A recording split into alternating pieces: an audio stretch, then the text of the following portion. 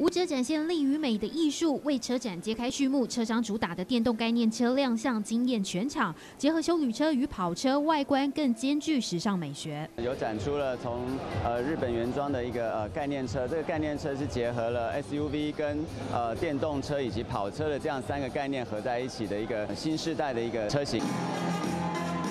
车展另一个亮点是国内自制的第一台电动商用车，在动能技术的革新下，成为不少中小企业代步的好帮手，也大大展现业者在电动化的实力。这台电动商用车目前邮局也已经开始在使用，旁边的展区呢也有展出了 PHEV，就是油电混合的这样的一个底盘的一个系统。所展出来的最重要的一个概念就是说，我们能够呃让这个车上的电源也能够供家庭使用。看准绿能永续市场，落实环境保护以及企业永续发。展车商参展以新能源概念为主轴，除了车辆吸睛，假日更邀请各界名人和车迷互动，让这一场世界新车大展丰富多元，更有看头。三立新闻纵报道。